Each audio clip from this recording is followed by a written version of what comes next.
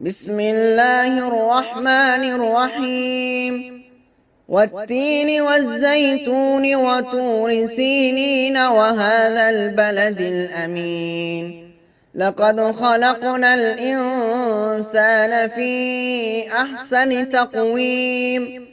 ثم رددناه أسفل سافلين إلا الذين آمنوا وعملوا الصالحات.